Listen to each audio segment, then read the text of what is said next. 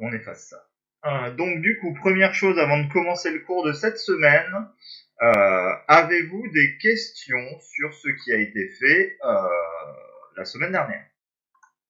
Les exercices notamment, la deuxième partie de la semaine, des questions sur les exercices de fin de semaine. Alors, euh, Sacha, tu as une question, bah vas-y, prends la parole.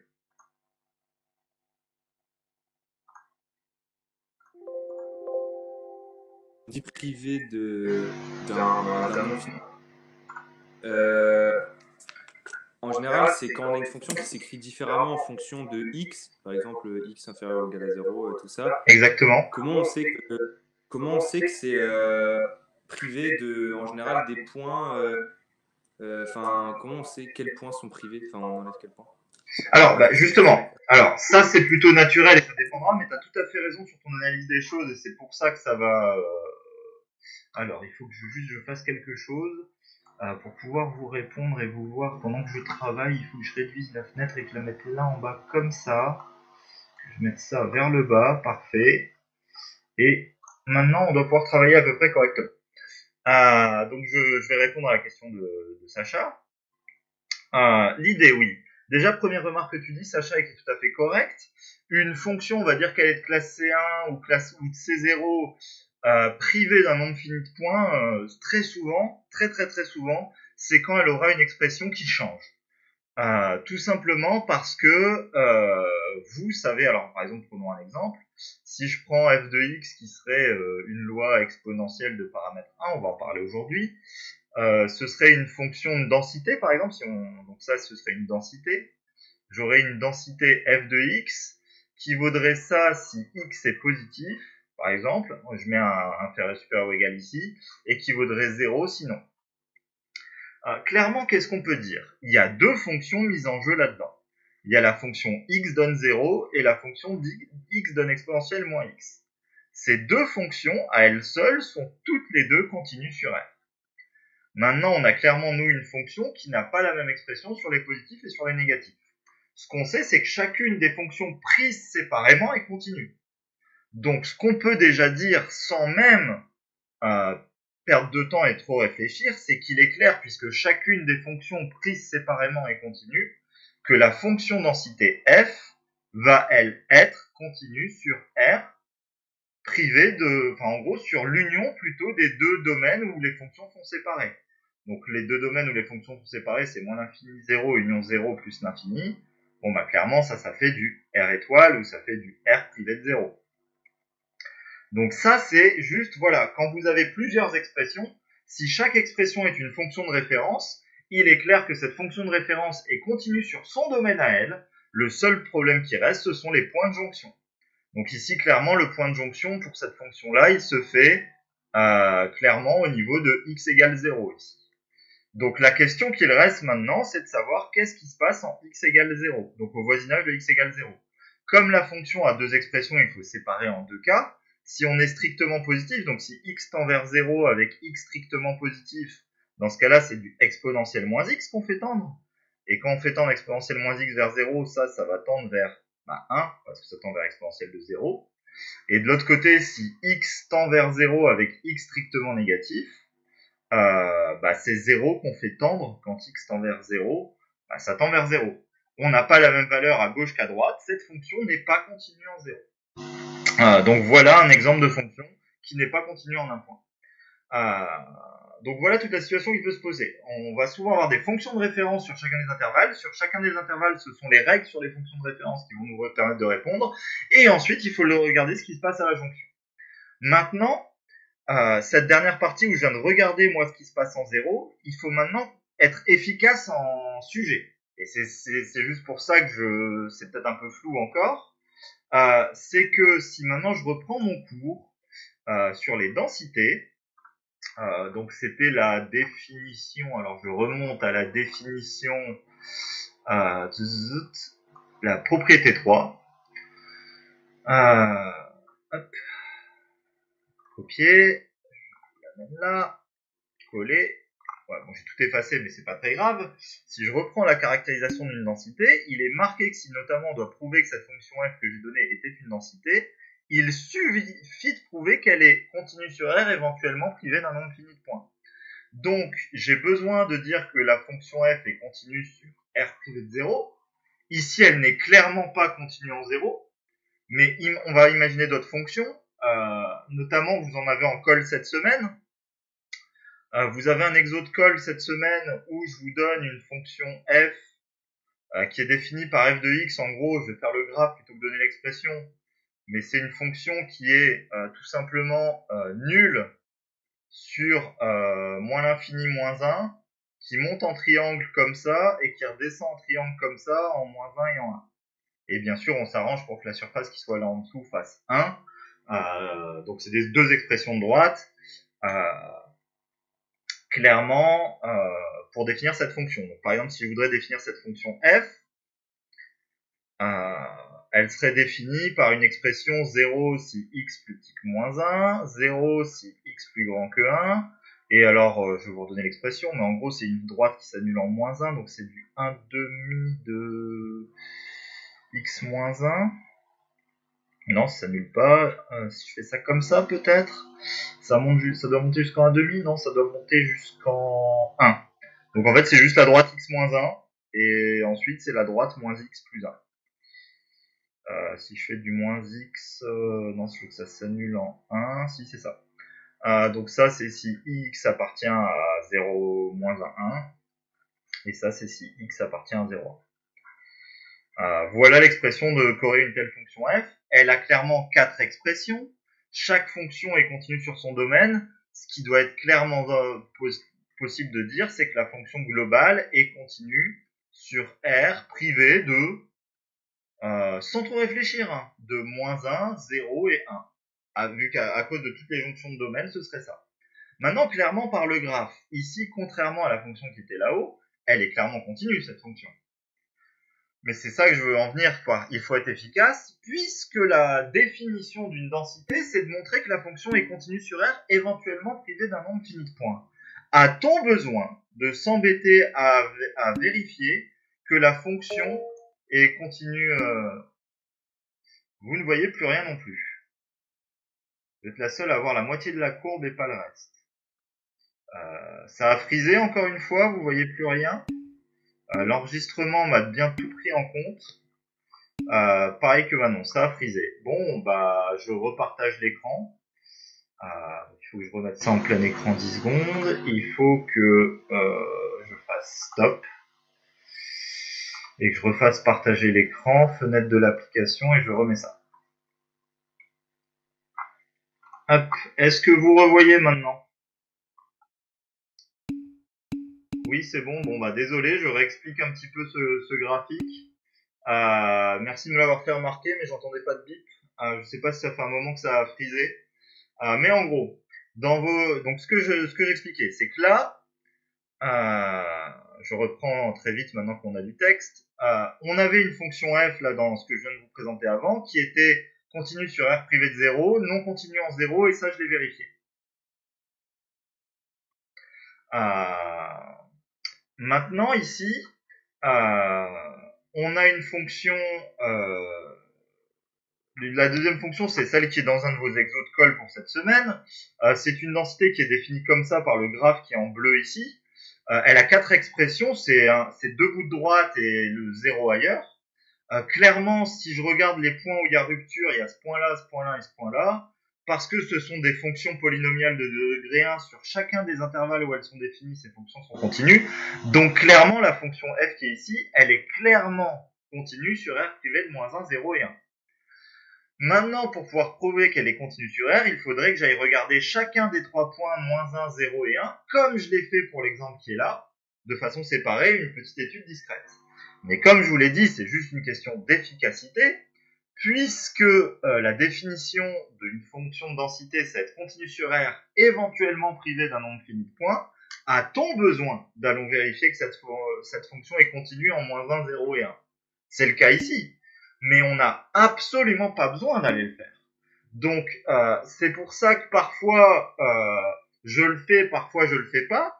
C'est parce que quand ça concerne une fonction de densité, je n'ai pas à m'embêter parce qu'il faut juste qu'elle soit continue sur R, éventuellement privée d'un nombre fini de points. Mais si maintenant je vous remets à l'écran un autre point de cours, là je remonte encore un peu plus haut. Euh, non, pardon. Euh, c'est juste en dessous, en fait, c'est la propriété 4. Euh, si maintenant je vous affiche ceci, oups, alors c'est trop remonté, comment ça fait que ça a décalé? Ça n'a pas décalé dans la vidéo? Non, c'est bon. Ça enregistre toujours Ouais, c'est bon.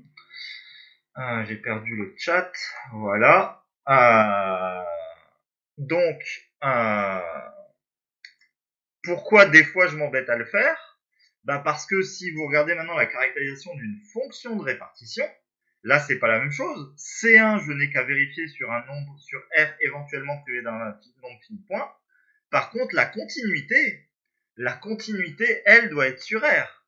Alors quand je vous fais du coup une fonction de répartition qui est de ce type-là, euh, classique, on va en parler aujourd'hui d'ailleurs, mais on en a vu deux, où par exemple je crois, je sais pas, je veux 0 jusqu'en 1, je crois tranquillement jusqu'en 3, et ensuite je vaux 1. Je refais un plateau continu. Euh, donc ce serait une fonction de répartition qui serait définie comme ça. Clairement, elle vaudrait 0 si x inférieur ou égal à 1. Elle vaudrait 1 si x supérieur ou égal à 3. Et entre les deux, donc faut trouver l'équation de la droite qui est là. Ça monte de 1 en 2, 2, temps, donc ça fait du 1 demi de x ça doit s'annuler en 1. Donc l'équation de cette droite, ça doit être du 1 demi de x moins 1. Et ça, c'est si euh, x appartient à 0, euh, à 1, 3. Clairement une fonction qui vaut 0 en 1 et qui vaut 1 en 3.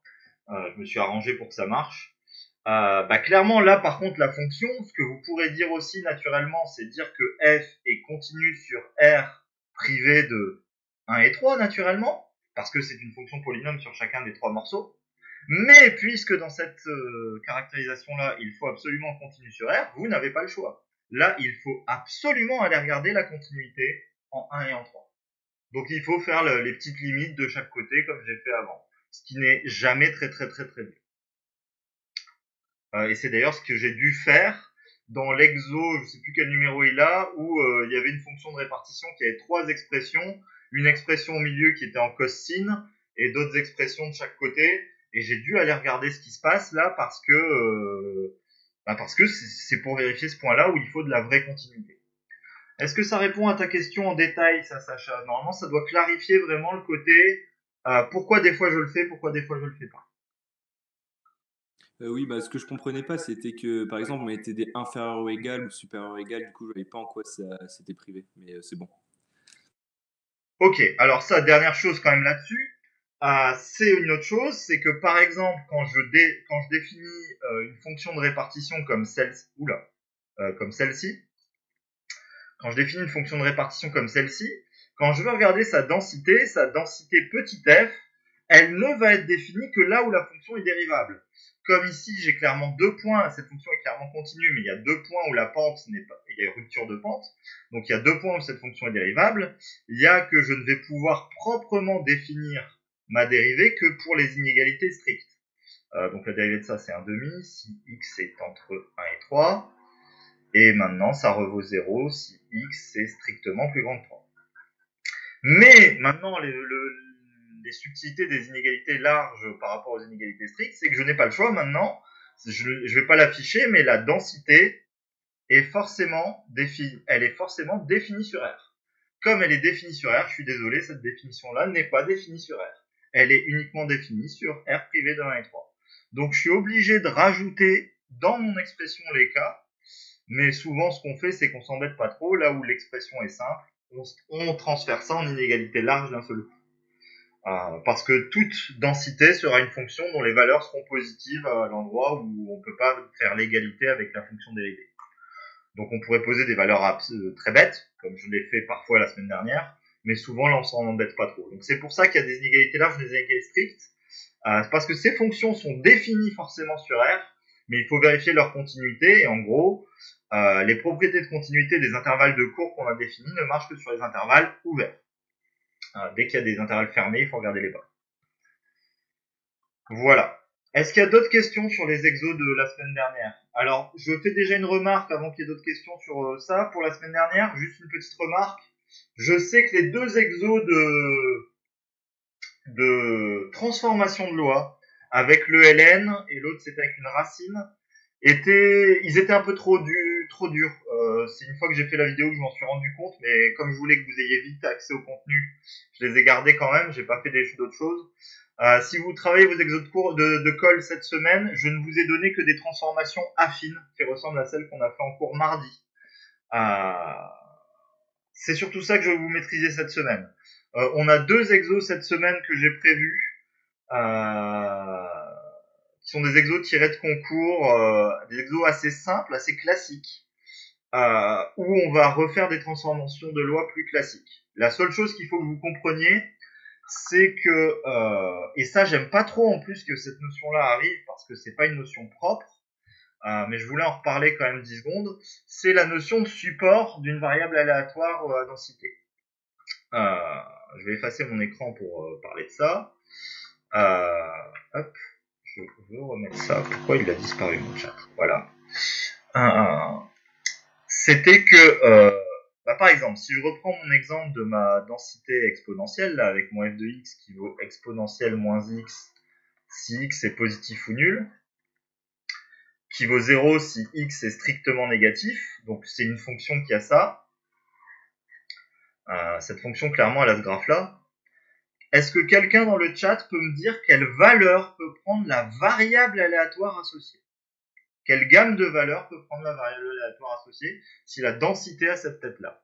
Donc si j'appelle grand X la variable aléatoire, en gros ce que je vous demande, même si cette définition ne figure pas officiellement au programme, ce serait quoi l'équivalent de X de oméga?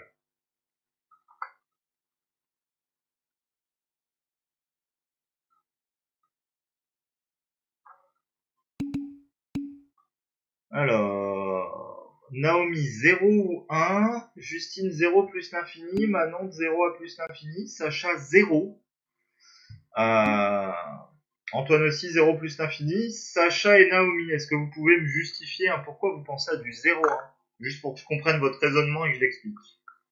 Justine, Manon et Antoine, vous avez bon.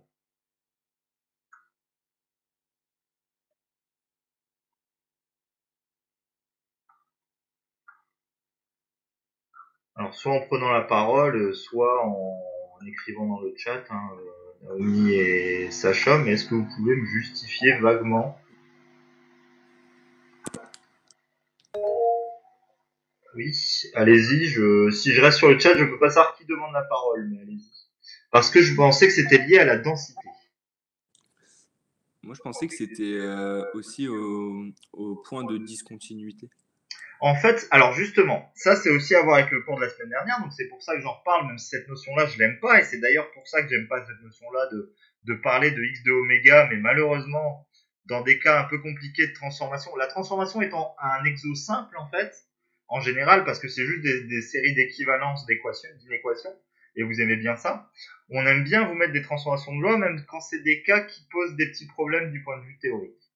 Euh, mais justement, dans le cours de la semaine dernière, ce point-là, donc je l'entoure ici, le point qui est là, n'a strictement aucune importance. Parce que quand une variable est à densité, la probabilité, euh, ici on est clairement à l'abscisse 0, la probabilité que x vaut 0, est-ce que quelqu'un peut me rappeler ce que ça vaut? Dans le cas d'une variable à densité, oui, Justine, ça vaut exactement 0. Naomi aussi. Donc en fait, que ce point-là, il soit là, ou je mets ma croix là et un truc ici. Donc c'est pas la valeur du point en 0 qui fait quelque chose. Ce qui fait que la variable va prendre de la valeur, c'est uniquement, euh, en gros, euh, si j'explique vis-à-vis de la fonction de répartition, même si je suis d'accord que là, ce que j'ai tracé, c'est la densité, hein, mais vis-à-vis de la fonction de, répartition, ce qui va donner la gamme de valeurs de votre fonction, si je trace ici la fonction de répartition, c'est que je ne vais pas forcément tracer celle qui est associée ici. Mais imaginons une fonction de répartition qui aurait cette tête-là. Elle est nulle ici, elle monte tranquillement euh, de là à là, et elle vaut 1 ici. Bah clairement, c'est sur cette gamme-là, sur cet intervalle-là, qu'elle va prendre ses valeurs. C'est-à-dire tout le poids de la probabilité, c'est là où la probabilité, ou c'est là où l'intégrale qui est en dessous monte. Donc si par exemple je devais tracer une densité associée, euh, puisque ça monte à peu près constant, la densité, elle devrait avoir une tête, euh, et que c'est à peu près régulier, imaginons que c'est vraiment continu tout le long, bah la, la densité, elle devrait avoir une tête à peu près plate comme ça, mais en étant continue. Euh, donc comme ça, mon intégrale monte bien tout le long je suis dans cette zone-là. Et après, elle monte pas, elle est déjà arrivée à 1, et avant, elle ne monte pas. Donc c'est un peu la zone où la fonction de la densité est strictement positive, et la zone où monte la fonction de répartition qui donne la gamme des valeurs euh, de la variable à densité. Donc du coup, et c'est pour ça que j'aime pas du tout cette question-là, c'est quoi le x de oméga de cette variable? Bah en fait, il y a deux réponses valides. Vous pouvez très bien me répondre 0 plus l'infini, je suis d'accord avec vous.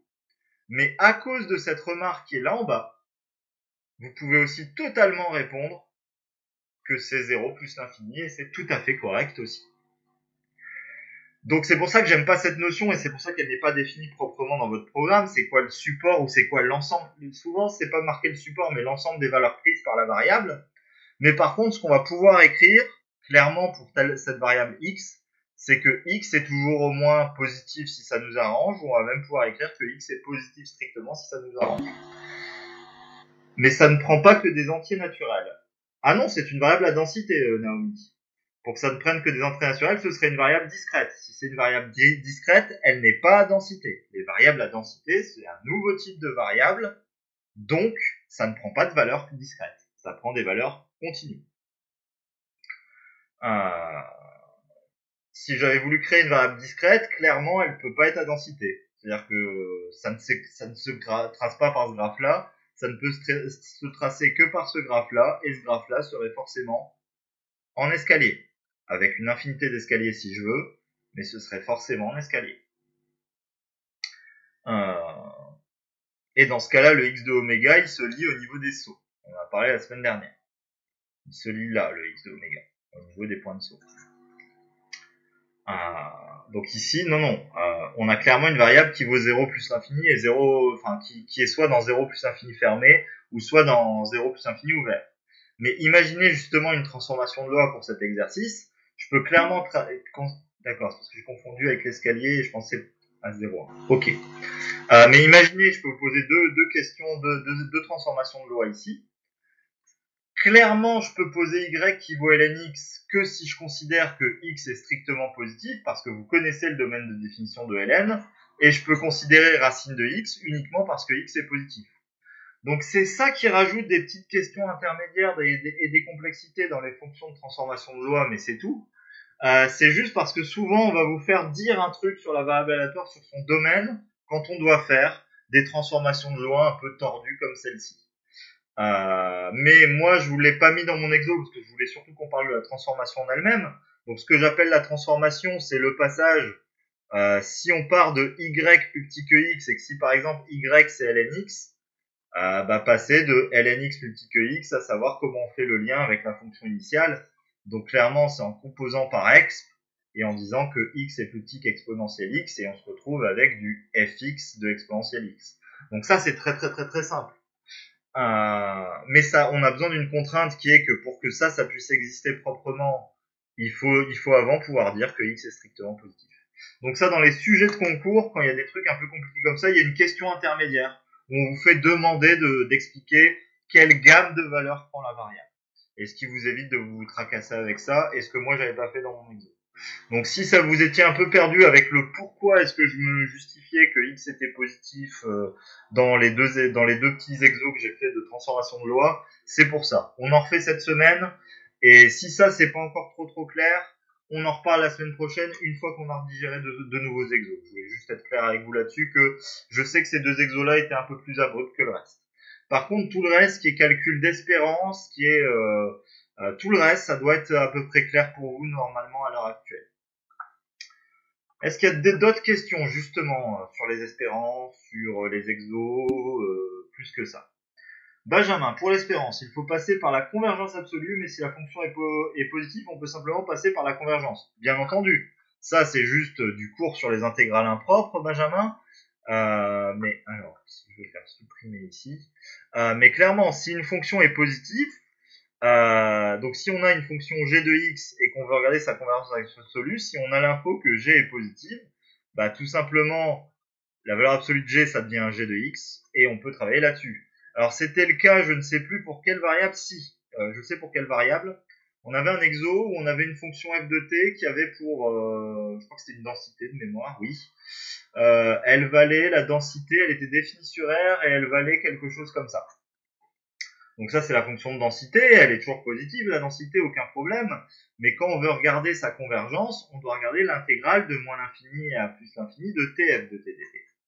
Puisque cette fonction-là est toujours positive, clairement, cette fonction-là, elle change de, elle est du signe de t, puisqu'il y a un produit, euh, la fonction sous l'intégrale est du signe de t, et donc cette fonction-là, si je l'appelle g de t, elle est clairement, on a clairement g qui est négative sur, euh, sur moins l'infini 0, et qui est positive sur 0 plus l'infini.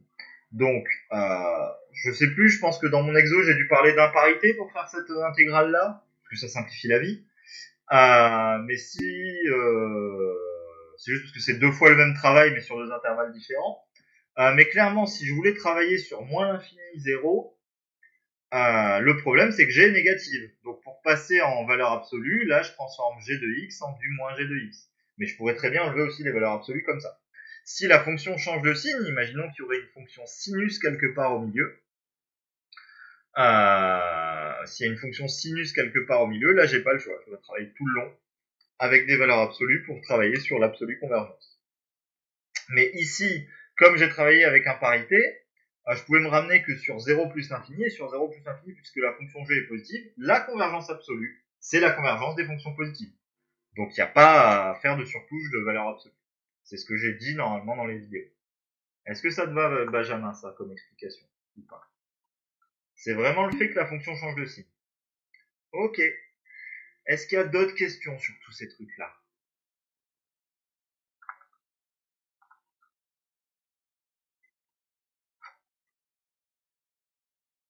Non, je vois rien d'autre apparaître. Je vous laisse une minute quand même. Je passe mon tableau.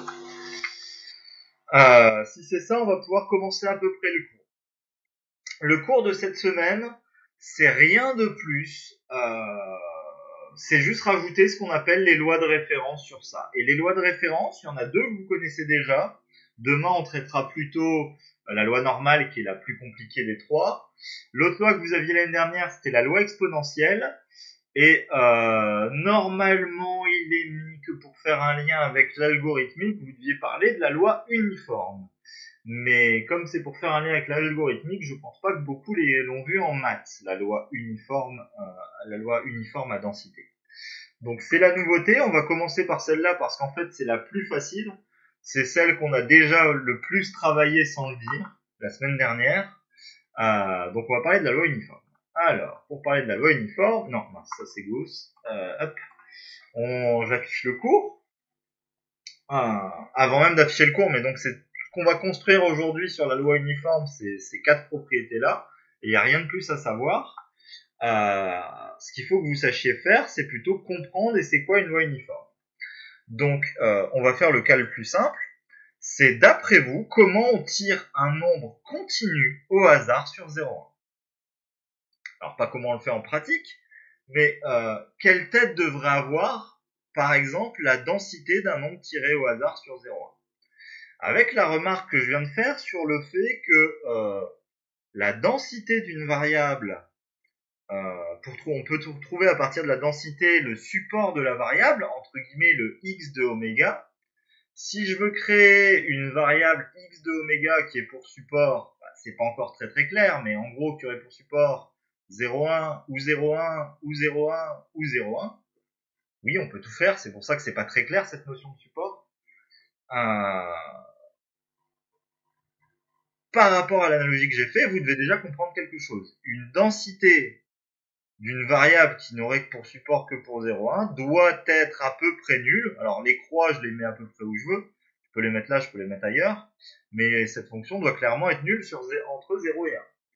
Mais si vous voulez tirer un nombre au hasard sur 0,1, donc de façon équiprobable, d'après vous, que doit avoir pour comme tête la fonction de densité?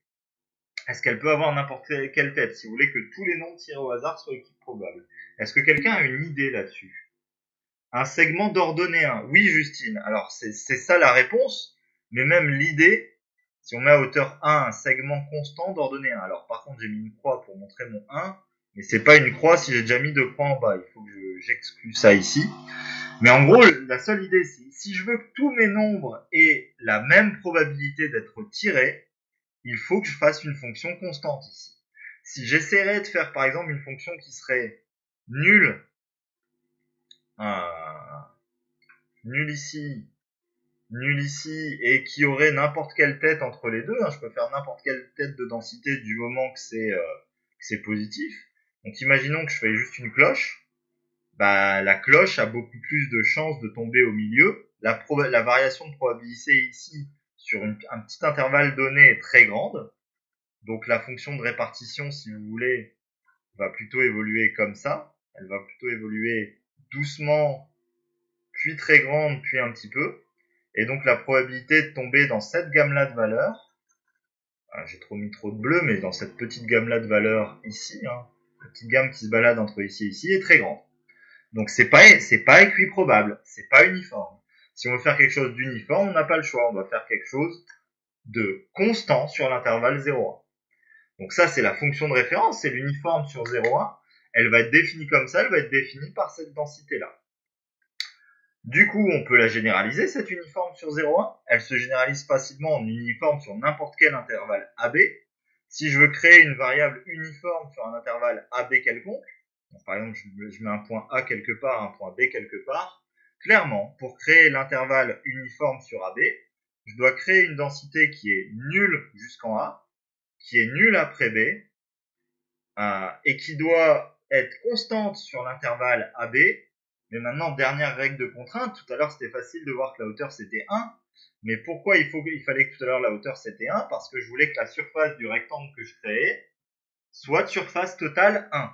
Ici, je vous rappelle que la, hauteur, la, surface d'un rectangle, c'est euh, base fois hauteur. Donc, puisque ma base, elle est de longueur B-A, pour que la surface totale ici fasse 1, il faut que je prenne comme hauteur du 1 sur B-A, pour que le produit des deux fasse 1. Donc, c'est la définition de votre loi uniforme sur un segment AB.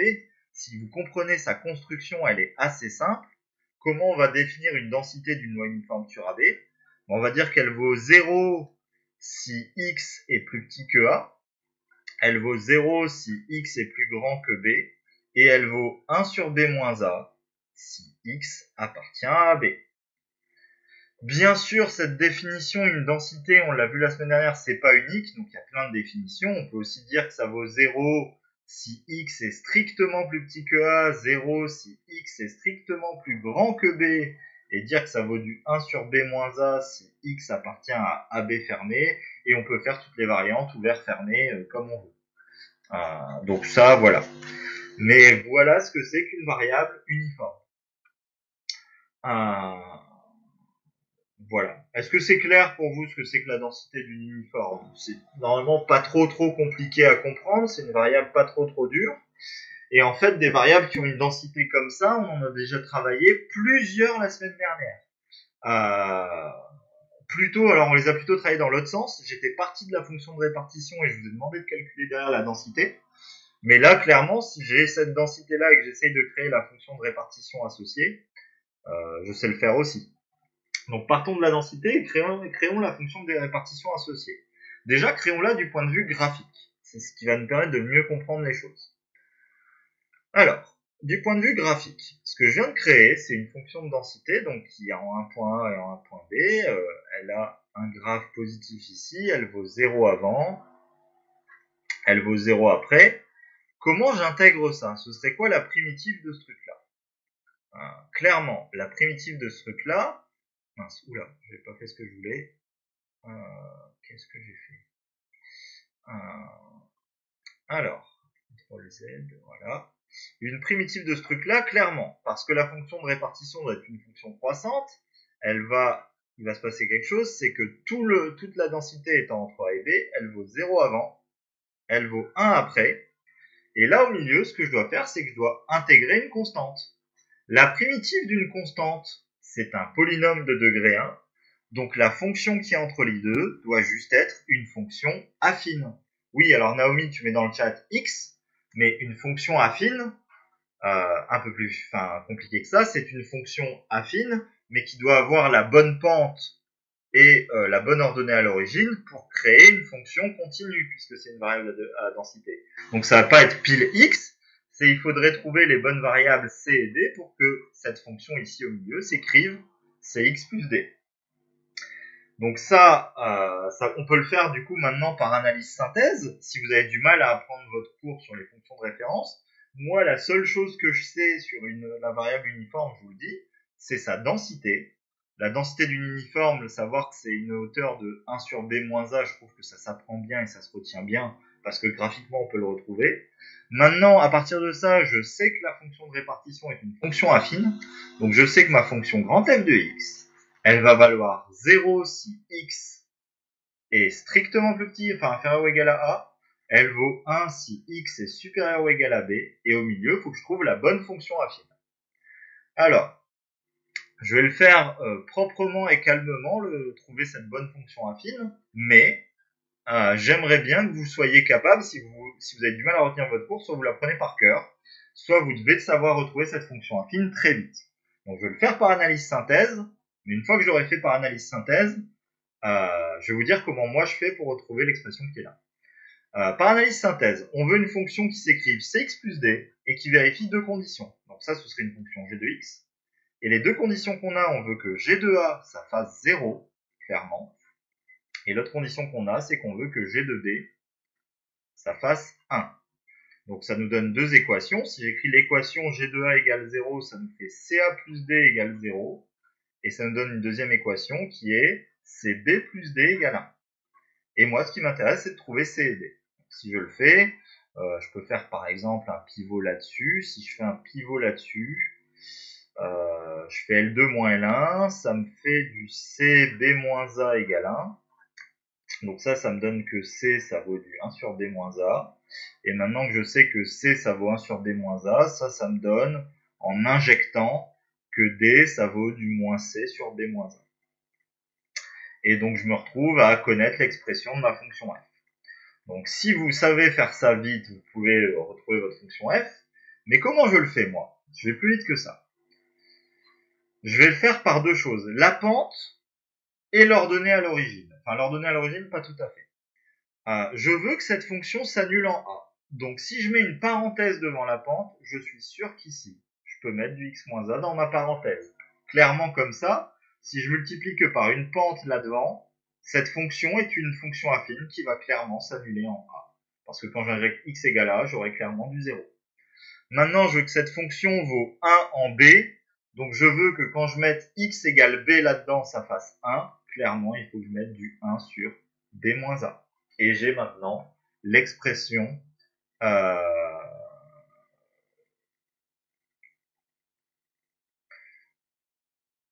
Qu'est-ce que j'ai écrit? Je me suis trompé, c'est un A ici. c'est ça qui vous gêne, c'est un A. Je me suis trompé en copiant ici. C'est du moins A sur B moins A. Euh, quand j'ai recopié l'injection euh, par rapport à cette équation-là.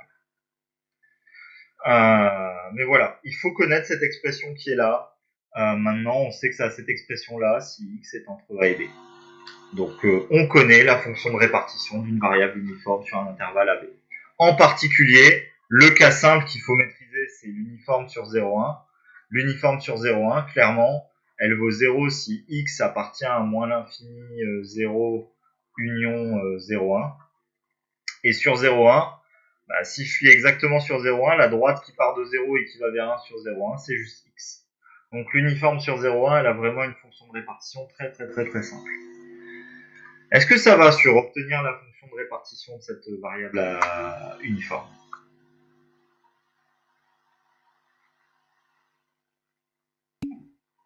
Justine, c'est bon. Les autres, vous êtes pas, vous êtes encore en train d'écouter, vous voyez encore bien mon écran, ça va? Et on peut apprendre par cœur, bien entendu, vous pouvez l'apprendre par cœur. C'est du cours, c'est-à-dire ce qu'il y a officiellement dans le cours, c'est euh, ce point-là. Je remonte, j'efface ça. Ce qu'il y a officiellement dans le cours, c'est ce point-là. Donc, puisqu'il y a ça officiellement en cours, vous devez savoir tout ce qui est écrit là-dedans. Mais euh, tout ce qui est écrit là-dedans, ça se retrouve assez facilement. Le problème, c'est les cases mémoire et, utiliser encore des cases mémoire pour ça, c'est pas ce qu'il y a de plus simple au monde. Donc, euh, connaissez, euh, sachez tout refaire de façon très très rapide. Euh, si ça vous va, sinon, si vous avez de la place mémoire, tant mieux pour vous. Moi, je l'ai pas. Pourquoi ça veut plus écrire? J'ai un problème. Alors, j'ai un problème, ça ne veut plus écrire. Ah, mais c'est parce que je suis pas sur la bonne couche. Ah ouais, donc j'ai écrit là des, des traits, ok, c'est pas grave. Ok, donc on a créé sa fonction de répartition. Maintenant, on peut se demander, question, est-ce que cette variable a une espérance et une variance? Alors, la semaine dernière, on a fait le cours là-dessus. Euh, je vais repartir du dessin, de la densité. est-ce que quelqu'un, donc j'ai une fonction qui serait là, qui est euh, qui va jusqu'en a, qui vaut 0. Euh, la densité de la fonction, elle fait ça. je dois mettre des, crochets ici, mais à part ça, c'est ça. Elle vaut ça en a, ça en b, elle vaut ça. Est-ce que quelqu'un a un argument pour me dire juste à froid, euh, logique, sans que ce soit très mathématique, mais juste de, votre compréhension, est-ce que cette variable va avoir une espérance et une variable et une variance et pourquoi? Pour moi, c'est évident qu'elle va en avoir une une espérance et une variance. Mais est-ce que quelqu'un a un argument juste de compréhension, je sais pas, graphique ou, quelque chose pour dire que, cette, euh, ça va exister? J'ai pas la valeur du tout, mais que ça va exister. La valeur, j'en sais rien du tout, faudra faire des calculs d'intégrale. Mais pour moi, il est évident que ça va exister.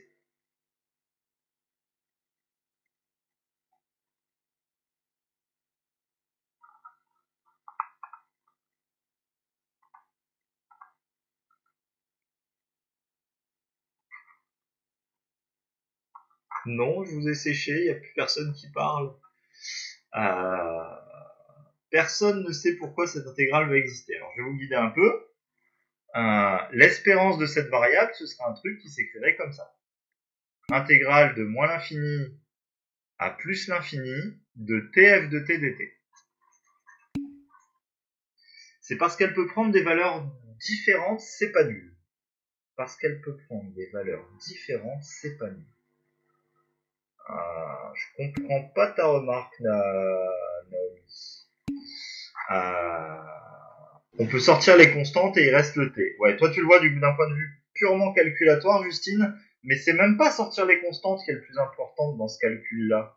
C'est un truc très particulier de cette intégrale et qui est généralisable à plein d'autres intégrales, même si elles ne sont pas euh, à densité uniforme. Et c'est ça que j'aimerais vous faire comprendre. Et ça, c'est faut digérer le chapitre. Donc c'est pas un truc que vous pouvez vous rendre compte instantanément. C'est pour ça que je veux vous faire faire la réflexion maintenant. C'est l'avantage de faire des cours en direct, c'est ce genre de petite réflexion là. Euh, donc on va y passer 5 euh, minutes s'il faut. Oui Antoine, c'est beaucoup plus ça qui va être important pour essayer de comprendre pourquoi on va pouvoir avoir une espérance ou une variance. Euh, c'est qu'on peut réduire l'intégrale de A à B. Clairement, cette intégrale, elle est nulle en dehors de AB. Donc cette intégrale qui va de moins l'infini à plus l'infini, en fait, elle se transforme en une intégrale de a à b. D'une fonction, alors tf de t, qui est une nouvelle fonction g de t dt, mais clairement, puisque cette fonction-là, elle est continue sur R privée d'un nombre fini de points, puisque la fonction t est continue sur R, cette fonction-là sur AB, elle est au pire du pire. Vraiment continue par morceaux. Or, on sait d'après le cours du premier semestre qu'une intégrale sur un intervalle fini d'une fonction continue par morceau existe tout le temps. Donc ce n'est pas une spécificité due à cette variable uniforme, c'est une spécificité due aux variables qui sont ce que je vais appeler, même si ce mot-là on n'a pas le connaître, à support fini. Donc si je reprends mon exemple euh, que vous avez en colle à me faire pour cette semaine, qui ne vous donne pas du tout la valeur du calcul, mais si je reprends une fonction f, par exemple pas b, f qui aurait pour densité un truc qui est nul jusqu'en moins 1, qui monte en triangle, qui redescend en triangle, et qui est nul. Clairement, donc euh, là ce sera en moins 1, là ce sera en 1. Si je veux regarder son espérance à cette densité, l'intégrale de moins l'infini à plus l'infini se transforme en une intégrale de moins 1 à 1. Et clairement, cette variable va admettre une espérance. Quelle est sa valeur? J'en ai aucune idée. Euh, dans ce cas-ci, c'est un peu plus simple que dans ce cas-là. Dans ce cas-ci, la densité étant parfaitement symétrique, c'est-à-dire que cette fonction en paire, quand je vais la multiplier par t, elle va devenir impaire, donc clairement son espérance, ça va devenir 0. Je laisse me le prouver en exo de col si vous voulez attaquer celui-là. Euh, par contre, euh,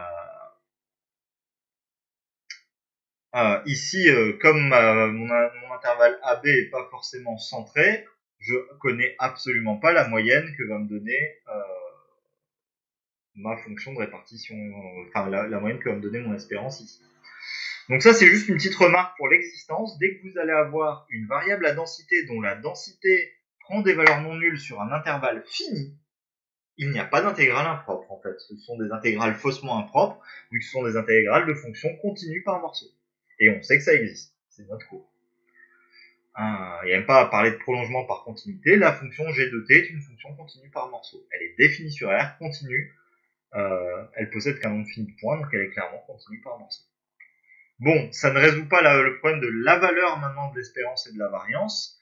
Pour les calculer, il n'y a pas le choix, il faut repartir sur nos moments et calculer les moments et appeler Kekenig-Huygens pour la variance. Donc allons-y pour les calculs d'espérance et de variance. Euh, donc pour notre variable uniforme sur l'intervalle AB, on cherche à calculer cette intégrale-là de tf de t dt. Donc on cherche à dire si c'est une, il faut prouver que ça converge absolument et en calculer la valeur. Donc clairement la première chose qu'on peut dire c'est que cette intégrale-là, euh, on va mettre car f nul en dehors de AB. c'est clairement l'intégrale de AB de t fois la densité, bah dans ce cas-là c'est du 1 sur b moins a dt. Donc ça on peut clairement dire que c'est du 1 sur b moins 1 intégrale de a à b de t dt. Ça c'est juste une expression de l'intégrale. Maintenant si on veut vérifier la convergence absolue, euh, bah clairement la valeur absolue de t, bah, on va le laisser comme la valeur absolue de t. On peut pas simplifier parce que ça dépend de l'intervalle AB. Si AB est dans les négatifs, je peux pas simplifier ça. Euh, et clairement, bah, la valeur absolue de t, la fonction qui a t donne valeur absolue de t, est clairement continue sur l'intervalle AB. Comme elle est continue sur l'intervalle AB, ça, ça implique que l'intégrale euh, converge. Pas besoin de se comparer à Riemann, c'est tout bête. Et il nous reste à faire le calcul. Maintenant, pour faire le calcul, clairement, on a du 1 sur b moins a fois t à mettre entre a et b. Donc ça, t, ça se primitive en t carré sur 2 à mettre entre A et B. Ça, ça me fait du, du B carré moins A carré, le tout sur 2B moins A si je mets tout au même dénominateur. Et pour obtenir le résultat qui est dans votre poly, ah, il faut remarquer quelque chose. Qu'est-ce qui reste à remarquer comme petite opération de calcul? Un truc que vous ratez. Ah, Justine, très bien. C'est une identité remarquable. B carré moins A carré, c'est du B moins A, facteur de B plus A. Donc maintenant, les sur 2b-a, les b-a se simplifient et on obtient du b plus a sur 2. Ce qui est assez logique. Euh, c'est tout bête. Réfléchissez juste sur un exemple pour l'espérance. Et c'est pour ça que vous pouvez juste retenir que l'espérance d'une variable uniforme est logique. Euh, si je vous donne une variable uniforme sur l'intervalle 1, 7.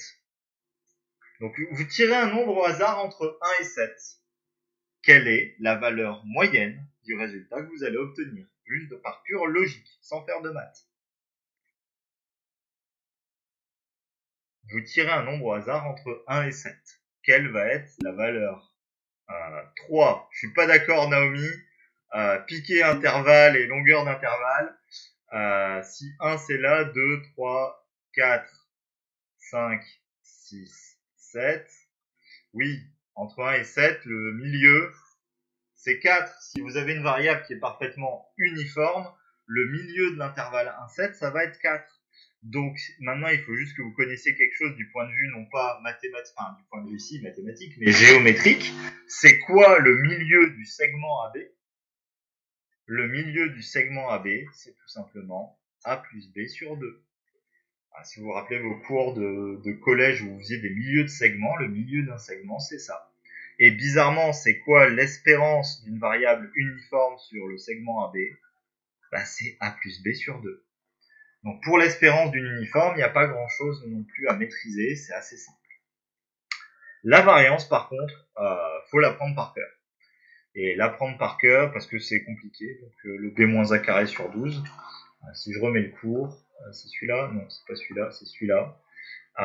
voilà. Moi, ça, ça, ça c'est un des points que j'apprends. La variance, c'est du b-a carré sur 12. Parce que retrouver la variance, c'est trop long comme calcul pour le faire de tête. Donc ça, c'est un nombre que j'ai en tête, la variance d'une variable uniforme, c'est b moins a carré sur 12. Ça fait partie des trucs de cours que je connais par cœur et que j'ai en tête comme ça. Enfin, c'est une phrase que je me rappelle, la variance uniforme, ça fait b moins a carré sur 12. Euh, tout simplement parce que le retrouver, c'est trop compliqué. Alors, on sait le faire, il n'y a, aucun souci, on sait retrouver la, la variance uniforme. Euh, mais c'est long. Pourquoi? Parce que comment on va la calculer? On va passer par le moment d'ordre 2. Le moment d'ordre 2 de x est du bah, du coup, ici, dans notre cas, ce serait par définition l'intégrale de moins l'infini à plus l'infini de t carré f de t Donc ça fait pour nous l'intégrale de a à b t carré fois 1 sur b moins a dt. En sortant les constantes, ça fait du 1 sur b moins a et j'intègre du t cube sur 3 à prendre entre b et a. Ça me fait du b cube moins a cube sur 3b moins a. Et maintenant, pour simplifier cette horreur, il faut se rendre compte de quelque chose. Alors, soit vous connaissez vos, identités remarquables sur les cubes, euh, si vous avez euh, des parents qui ont fait des maths, ou des grands frères et des grands, euh, grandes sœurs qui ont fait des maths, vous pouvez vous en sortir à tour de bras. Oui, on peut passer par le triangle de... C'est lié au triangle de Pascal, c'est lié à la formule du binôme de Newton aussi. Hein. on peut le voir aussi grâce à ça. Euh, mais une autre façon de le voir, et qui est plus mathématique ici, mais qui, rend le, truc compliqué, c'est que ceci, si je vois pas par exemple b comme une variable, mais comme une variable x, ceci est une division euclidienne. On cherche à diviser le polynôme x cube moins a cube par le polynôme x moins a. Et ça, c'est faisable. Pour faire ça, il suffit de faire x carré fois ce polynôme-là. Donc pour faire x carré x fois ce polynôme-là, on va faire du moins x cube plus euh, ax carré. Donc il nous reste à faire du ax carré. Oui, c'est oui, on peut poser bien sûr Sacha égale x. C'est juste qu'avec b, ça me donne un, coefficient positif sur euh, x, c'est plus simple. C'est juste pour ça, mais bien sûr. Maintenant, il me reste du ax carré moins a cube à faire, donc je vais faire du plus ax fois mon polynôme, ce qui va me faire du moins ax carré moins plus a carré x. Il va donc me rester du a carré x moins a cube. Maintenant, je vais faire du plus a carré. Euh, ce qui va bien me faire du moins a carré x plus a cube. Ça fait bien du 0 en bas. Et je sais que x cube moins a cube, ça me fait maintenant du x cube moins a cube, ça me fait du x carré plus ax plus a carré, le tout facteur de x moins a. Et si maintenant je remplace mon petit x par b, ça me fait que b cube moins a cube, ça fait du b carré plus ab plus a carré, facteur de b moins a. Et ce qui me transforme ce nombre-là en du b carré plus ab plus a carré sur 3. Voilà pour ça. Euh, et là, je n'ai juste que le moment d'ordre 2. Le moment d'ordre 2, maintenant, pour calculer la variance de x, il faut que je dise que c'est le, par Koenig-Huygens, euh, c'est tout simplement le moment d'ordre 2 de x moins le moment d'ordre 1 de x au carré. Le moment d'ordre 2, on vient de dire que c'est a carré plus ab plus b carré sur 3, moins, et ce qu'on avait trouvé, c'était du a plus b sur 2. Donc si on met ça au carré, ça me fait bien du a carré plus ab plus b carré sur 3 moins, et donc j'ai du a plus b au carré à faire, ça me faire du a, carré plus 2ab plus b carré sur 4. Attention, j'ai gardé le moins devant la fraction, donc tout va passer en moins. Et maintenant, il faut que je mette au même dénominateur. Le même dénominateur commun, on va trouver notre fameux 12. Je multiplie le premier par 4, le deuxième par 3. Et ça va me faire du 4a carré plus 4ab plus 4b carré moins 3a carré moins 6ab moins 3b carré. Et ça me fait bien du a carré moins 2ab plus b carré sur 12. Et là, on doit encore une fois reconnaître l'identité remarquable et voir que ça, c'est du b moins a, le tout au carré sur 12. On a bien la bonne variance. C'est pas incalculable on aurait pu forcer la factorisation directement.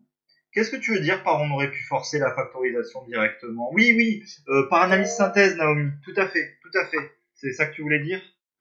Euh, C'était qui qui posait une question? Comme j'ai le chat en bas, j'ai pas vu qui a demandé la parole. Euh, j'ai qui qui a demandé la parole? J'ai plus personne. Ça rame trop pour que je le vois. Oui, c'était toi, Naomi. Euh... Oui, t'es d'accord que c'est par analyse synthèse? Oui, clairement, on aurait pu vouloir dire. Euh... Oui. Euh... C'était, on aurait très bien pu juste dire, bah, je veux que B-, je veux simplifier ce, quotient vu que à la fin mon quotient doit plus être B-1 en bas. Donc j'admets que ça, ça doit s'écrire quelque chose, et là il me faut des termes, ça doit s'écrire B-1 pardon, fois. Alors par contre, il faut, le voir quand même comme un polynôme, c'est-à-dire qu'il faut essayer de dire que ça aurait été un polynôme en B de degré 2, et donc dire que ça se serait écrit euh, CB carré plus DB plus E. Et essayer de voir ce que ça aurait été que CDD. Euh, CDE, pardon. Euh, mais il fallait quand même que tu te donnes cette forme-là quelque part, c'est-à-dire que tu vois un polynôme en l'un ou en l'autre. Alors après, on peut être encore plus malin et voir que c'est un truc en, en B carré, un terme en AB et un terme en B carré, euh, en A carré, pardon, et maintenant il n'y a plus qu'à trouver euh, trois constantes euh, CDE. Mais il faut savoir se poser la forme de, l'analyse synthèse, clairement. Mais ça marche. Mais voilà, une variance, vous êtes d'accord que l'investissement sur la variance par rapport au reste est beaucoup plus élevé quand même. Euh, du coup, moi, euh, vraiment ce que je retiens, enfin je retiens ou je retrouve très très très très vite la densité d'une uniforme. Sa fonction de répartition, je la retrouve de tête en quelques secondes. Son espérance, c'est une logique, je la connais par logique, non pas par par cœur. Par contre, la variance qui vaut du B-A carré sur 12, par cœur. C'est le minimum syndical pour moi sur les variables uniformes. Est-ce que ça vous va sur cette variable uniforme? Alors, il nous reste une dernière propriété de cours pour finir le cours sur la variable uniforme. Mais cette dernière propriété de cours, elle, est dans le cours de maths. Je vais la remettre au tableau euh, très très vite, c'est celle-ci. Hop, c'est la dernière, c'est la propriété 11. C'est ce que j'ai mis simulation ou facteur d'échelle. Alors, c'est une propriété du cours de maths qu'on va retrouver, mais euh, ce n'est pas une propriété du cours de maths, c'est une propriété du cours d'informatique.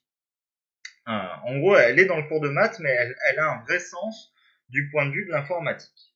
Vous savez déjà qu'en Scilab, la fonction rand, tirée comme ça, je vous en ai déjà parlé, elle tire un nombre au hasard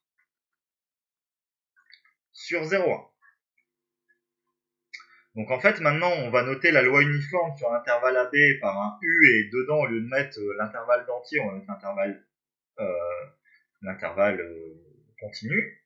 Bah, la variable uniforme sur l'intervalle AB, en fait, puisque ce nombre au hasard il est tiré sur 0,1, c'est comme si la fonction rand générait une variable uniforme sur l'intervalle 0,1. Donc on possède en informatique clairement une fonction, la fonction rand, qui tire un nombre au hasard sur l'intervalle 0,1. La question c'est, puisque vous disposez de la fonction rand, êtes-vous capable, est-ce que vous savez me simuler informatiquement une variable qui serait une loi uniforme sur un intervalle A, B ou B. Est-ce que vous êtes capable de le faire? Bah, Il suffit de créer une variable U, se baser sur la fonction rand, et puisque la fonction rand tire un nombre au hasard entre 0 et 1, il faut juste, en gros, transformer cette fonction-là qui se balade sur 0, 1, et la transformer par une certaine transformation en une fonction qui se baladerait sur AB. Avec AB qui pourrait être par exemple, je pourrais écarter D, et qui pourrait être beaucoup plus grand que 0,1, donc il y aurait une sorte de dilatation et une translation. Donc pour faire ça, clairement il faut déjà translater, sinon vous n'arriverez jamais en A. Donc là, en faisant ça, le minimum que veut prendre ce nombre c'est A, mais là il se balade entre A et A plus 1. Donc maintenant pour le faire aller jusqu'à B, il faut multiplier le nombre entre 0 et 1 par l'écart de la longueur de l'intervalle AB qui était moins A, et là vous avez clairement créé un nombre qui se balade entre A et B. Est-ce que vous êtes d'accord sur ce principe de transformation informatique d'un nombre euh, si euh, R est un nombre qui est généré au hasard Si je fais du B moins A fois R plus A, je crée clairement un nombre tiré au hasard entre A et B. Ah, donc si vous comprenez cette propriété-là, ça vous dit quoi? Ça vous dit que si U suit une loi, euh, plutôt pas si U, je peux réexpliquer. Alors je vais, je vais, le refaire par analyse synthèse dans ce cas-là. Euh, Est-ce que tu es d'accord qu'on possède donc une variable R qui, contient la fonction rand de Scilab qui suit une loi uniforme sur 0,1 La question que je me posais, c'est bah, si je sais simuler une uniforme sur 0,1, comment on, euh, comment on simule une uniforme sur 0,1 Alors là, je viens d'inclure les 0,1 alors que je les avais exclus tout à l'heure. Toujours la même chose, c'est la même chose parce que euh, on ne peut pas tomber pile sur 0 ou pile sur 1, c'est impossible. La probabilité est nulle. Euh, donc, euh, si j'ai une variable sur 0,1, la question que je peux me poser, c'est est-ce que je peux simuler une variable uniforme sur un intervalle AB quelconque? Donc la question, c'est est-ce que je peux tirer un nombre au hasard U, par exemple, euh, sur AB, qui appartient lui à AB bah, Clairement, puisque mon graphe de mon uniforme sur 0,1, c'est un truc comme ça, 0, 1 et avant j'ai 0, après j'ai 0, que mon graphe de mon uniforme sur AB, c'est un truc comme ça. Pardon, pas de X ici, c'est juste un tiré comme ça, j'ai un tiré dans l'autre sens. Clairement, entre les deux graphes, il y a une transformation qui s'est opérée, où j'ai envoyé 0 sur A, 1 sur B, et où j'ai envoyé le graphe, enfin le graphe c'est le même par contre, alors euh, la hauteur ici c'était à une hauteur 1, maintenant la hauteur elle est à 1 sur B moins A, mais il y a clairement une transformation entre les deux graphes. Donc la question c'est est-ce que je peux euh, obtenir cette transformation? Clairement s'il y a eu un décalage et une augmentation de taille, donc il y a une transformation affine entre les deux. C'est-à-dire qu'encore une fois, U c'est du CX plus c'est du CR, avec mes lettres, c'est du CR plus D. Et je veux clairement que quand R vaut 0, U de 0 ça fasse A, et quand U de 1 ça fasse B. Donc clairement, ce que je veux comme transformation, c'est, euh, bah, maintenant je peux la faire de tête, hein, mais c'est ce que je viens de dire à l'oral, c'est que on peut voir que la transformation, ça va donner U qui vaut du B-A R plus A. Parce que tout simplement, leur donner à l'origine, je veux que ça fasse A, et euh, je veux que quand U vaut 1, ça fasse B, donc euh, avec cette propriété-là, ça marche bien. Donc, je peux clairement simuler une variable uniforme sur l'intervalle AB par cette petite transformation-là. Mais ça, c'est quand je fais de l'informatique. Et c'est à ça que ça va nous servir. Clairement, il faudra savoir lire plus tard, mais on doit aussi revenir sur la simulation de l'horaire uniforme. Mais il faudra savoir lire, euh, pas, écrire vous, mais parce qu'on aura la fonction gérante qui fera tout pour nous. Mais euh, pour euh, lire dans un sujet, on pourra vous faire tirer une variable R qui suit rand, écrire qu'on tape R qui fait du B-A plus A comme ça, et vous demander quelle loi suit la variable U. Elle suivra une uniforme sur AB. Alors ce sera pas avec du AB, mais si je vous dis par exemple que R est égal à rand et que U suit du 2 fois rand plus 3, enfin du 2 fois R plus 3, donc, euh, je peux effacer avec celui-là, c'est le but. Euh, si je dis que U fait du 2R plus 3, que suit U comme loi? C'est une uniforme sur quel intervalle? Vous avez compris ce que je viens d'expliquer.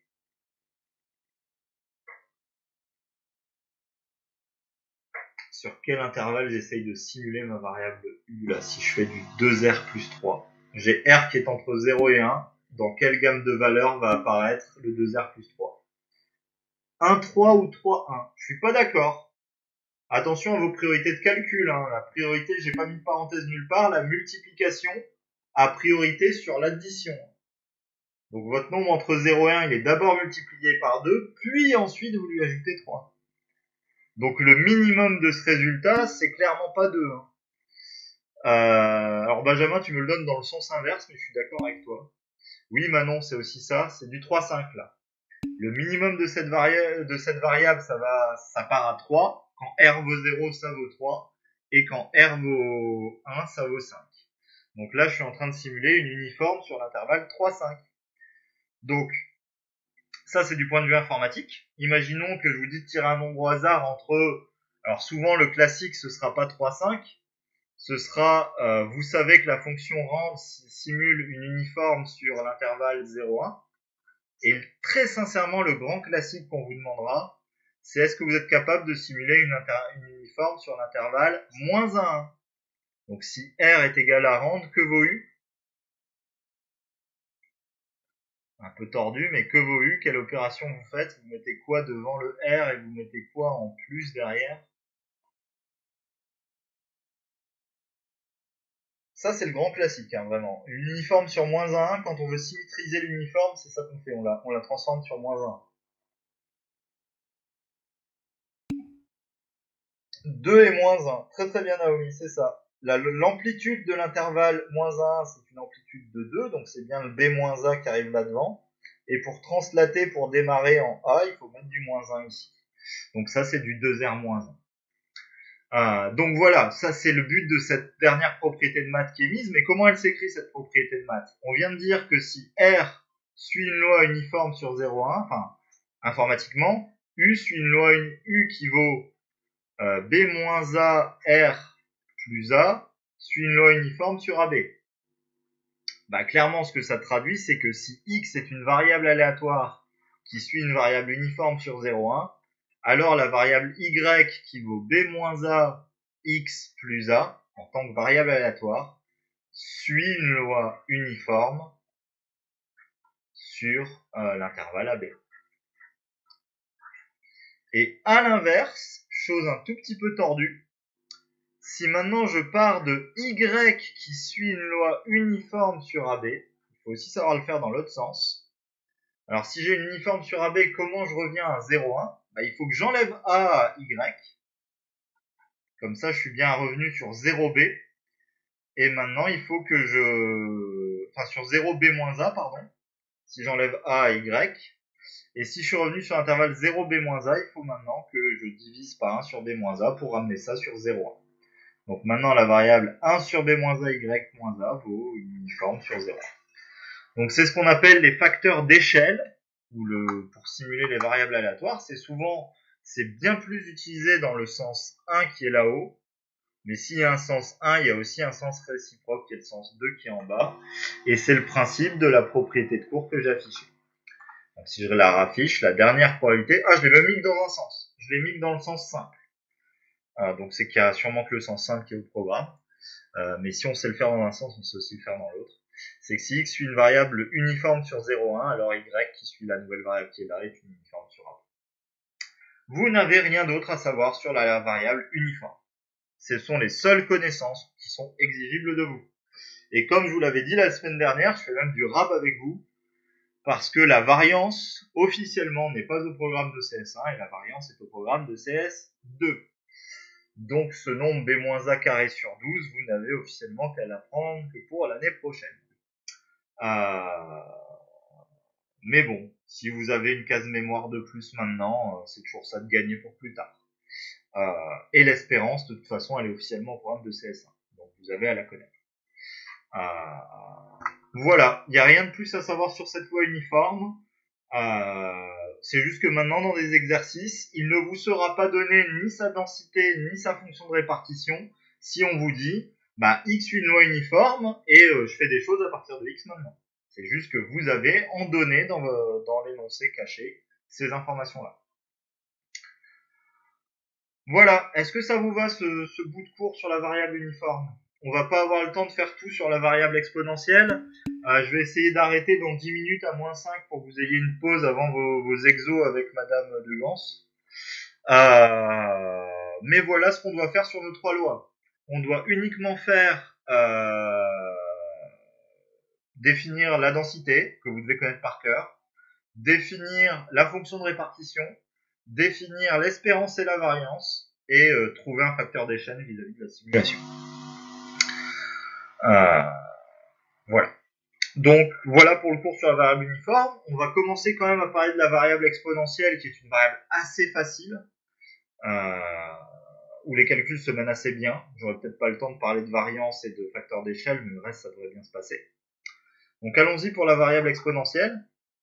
Ah, la définition de la variable exponentielle. Ah oui, surtout qu'il y a une petite propriété de la variable exponentielle euh, qui s'appelle la propriété de perte de mémoire. On en parlera demain. Euh, donc j'efface ça, on repart là-haut, j'efface ça. Alors j'affiche à peu près le cours sur la variable exponentielle, donc quelques quatre petites propriétés. Hein. Euh, une autre propriété qu'on n'avait pas sur l'uniforme, c'est celle-ci, j'en parlerai, le principe de perte de mémoire. Euh, en fait, la variable exponentielle, si elle est si utilisée, si vous l'avez déjà apprise en terminale, normalement, ce que vous avez dû savoir, c'est que cette variable euh, exponentielle, elle modélise ce qu'on appelle des temps d'arrivée indépendants. Alors, euh, on en parlera demain plus, en détail, mais en gros, si vous considérez, ce qui est complètement faux dans la pratique, hein, mais si vous considérez par exemple euh, que les temps d'arrivée d'un bus à sa station, euh, si vous attendez un bus à une station donnée, il doit passer un bus tous les 7 minutes, mais si vous considérez que les temps d'arrivée sont indépendants les, uns des autres, les, bus, en fait, suivent, les temps d'arrivée des bus suivent une loi exponentielle de paramètres 1 septième, en gros, tout simplement. Euh, bien sûr, vous allez dire que les temps ne sont pas indépendants, et je suis d'accord avec vous sur la non-indépendance, parce que s'ils commencent à mettre des temps longs, c'est qu'il y a des bouchons. S'il y a des bouchons pour un bus qui suit la même ligne, il y aura très certainement des bouchons pour le deuxième bus. Euh, donc c'est pas du tout indépendant, mais voilà, ce qu'on modélise, c'est pour des temps d'arrivée aléatoires. Et ça, mathématiquement, c'est très très très très très utilisé, euh, notamment, notamment en épidémiologie, euh, thème très actuel, mais euh, si vous voulez vous dire, euh, bah, il y a plein d'événements qui se passent dans la population. Euh, il y a des gens qui rentrent en contact avec d'autres, qui contaminent d'autres gens, etc., etc., etc.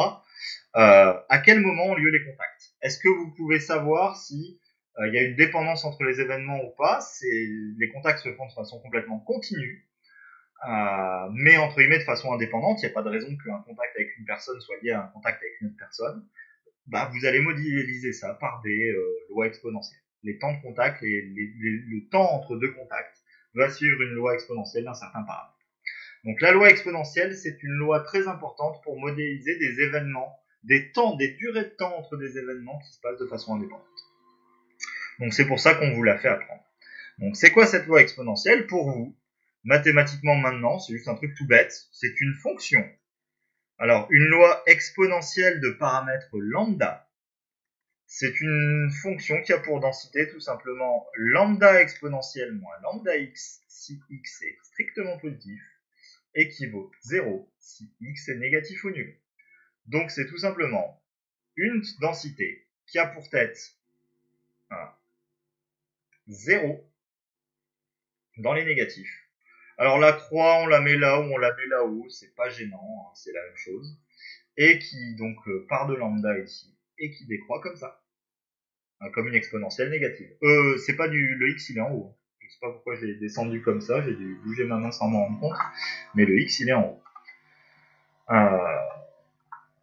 Bon, voilà pour ce que c'est que cette loi. Une loi très particulière qui va beaucoup nous intéresser, dont on a déjà parlé la semaine dernière, c'est la loi exponentielle de paramètre 1. C'est la loi qui est la plus simple pour nous, c'est celle qui a pour densité exponentielle moins x si x est strictement positif et 0 si x est négatif. Et donc c'est le cas où en fait le point de départ, enfin pardon, le point de départ je l'ai mis en bas, donc la, la bas ici euh, est en 1. Et elle décroît comme ça avec une pente naturelle. Oui, donc le support de cette variable c'est 0 plus infini. On peut toujours dire de cette variable qu'elle est positive ou même qu'elle est strictement positive. La variable associée euh, est forcément strictement positive ou positive selon ce qui vous arrange. Elle ne peut pas prendre de valeur négative. Voilà. Ça, c'est un classique sur cette variable exponentielle. Elle est définie par cette densité. Euh, quelle est sa fonction de répartition? Ben, On part de la densité, on sait la retrouver. Alors, pour pouvoir calculer ça, c'est le moment maintenant de votre cours où il faut connaître ce point de cours-là de façon euh, à tour de bras, on va s'en servir. Je vais juste faire sûrement la fonction de répartition maintenant. Mais je vous avais donné en cours la valeur de cette intégrale comme une intégrale impropre de référence dont il faut connaître la valeur. Que vaut l'intégrale de 0 à plus l'infini de exponentielle moins... Alors je vais mettre du moins à x, juste pour que euh, votre clavier soit plus facile à taper. Euh, exponentielle de moins ax dx sur 0 plus l'infini, c'est quoi sa valeur? À connaître par cœur. Parce que maintenant ça va nous servir à tour de bras. Ça vaut 1 sur A, Benjamin, parfaitement.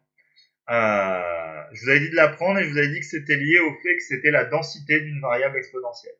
Donc maintenant, c'est soit vous connaissez déjà celle-là, c'est parfait, et je pense que c'est plus simple de l'apprendre comme ça, soit par le résultat que je viens d'écrire là, clairement, puisque ceci est une densité de référence, l'intégrale de 0 à plus l'infini de lambda exponentielle moins lambda x, puisque c'est une densité de référence, par définition, cette intégrale elle vaut 1.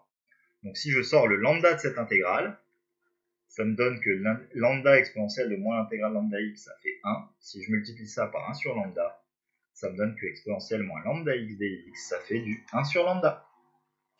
Donc c'est pour ça que je vous avais fait apprendre que cette intégrale valait 1 sur a par, définition de la densité de la loi exponentielle, ou par densité de la loi exponentielle. C'est parce que c'est clairement lié à cette définition de la loi exponentielle. Donc si vous avez le moindre, si vous connaissez déjà le fait que ce, ce principe-là, et que vous avez un doute sur votre densité exponentielle, il n'y a plus aucun doute à avoir, savoir comment se jouent les paramètres lambda, vous me passez le a ici et vous savez que ça fait du a exponentiel moins ax pour la densité. Donc ça, c'est un moyen mémotechnique pour savoir ça si vous avez déjà appris votre intégrale impropre. Moi, personnellement, je connais l'intégrale impropre et je retrouve la densité comme ça. Et maintenant, ça va nous servir aussi pour le calcul de la fonction de répartition. Je rappelle que la fonction de répartition d'une variable x qui serait de densité petit f, ça se calcule comme l'intégrale de moins l'infini à x de f de tdt. Clairement, parce que notre fonction f a deux expressions qui vaut 0 ici et qu'il y a une autre expression ici, la fonction de répartition ici va avoir elle aussi deux expressions. Euh, on va séparer les cas où x est négatif ou nul. Pour tout x négatif ou nul, bah ça, ça devient du fx de x qui devient l'intégrale de moins l'infini à x de 0 dt. Donc la fonction de répartition est clairement nulle avant ça.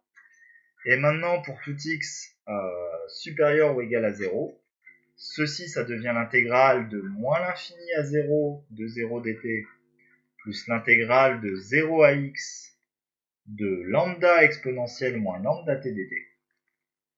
Donc ça, ça fait clairement l'intégrale de 0 à x de lambda exponentielle moins lambda t dt. Donc il nous reste à calculer cette intégrale-là. Vous devez savoir primitiver ceci.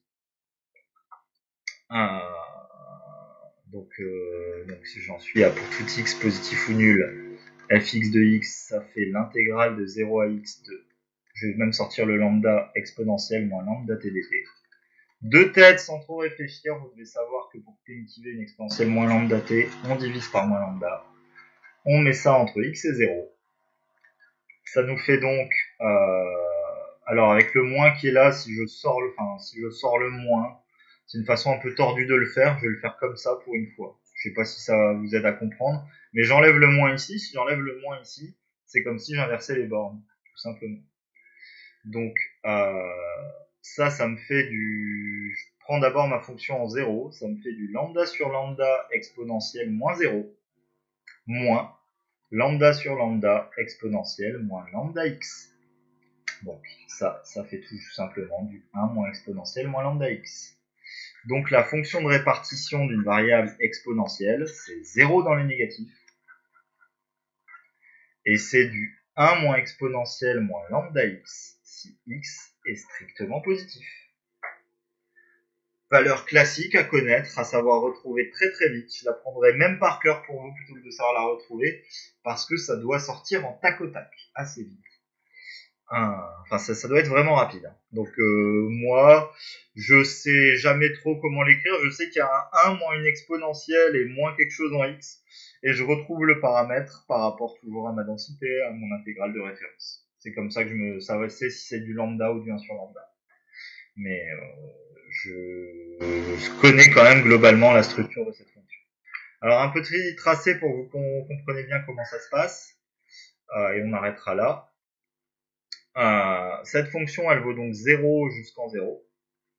Et ensuite, son expression, c'est 1 moins exponentielle moins lambda x. Donc c'est clairement, ça vaut clairement 0.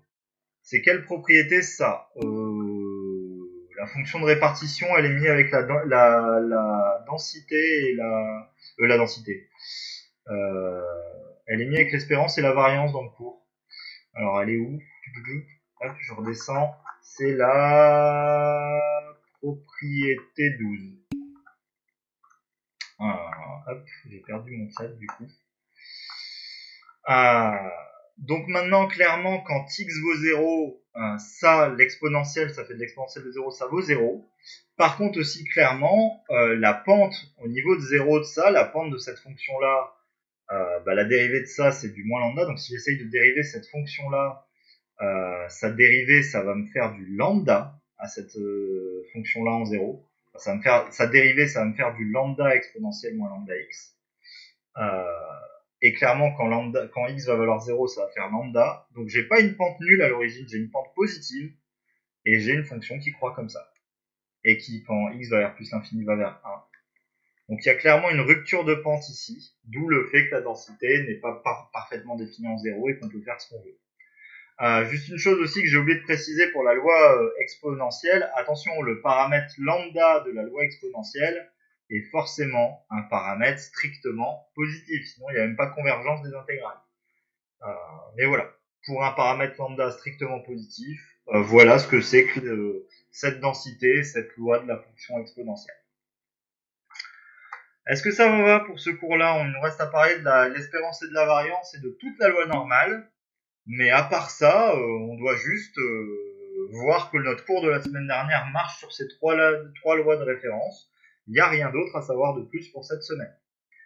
Est-ce que ça vous va pour ça? Bah, Si ça vous va, à moins que vous ayez des questions là pour finir, euh, on a terminé et on peut arrêter le cours d'aujourd'hui. On reprend demain matin à 10h30 du coup à peu près. Si vous débordez de 5 minutes, c'est pas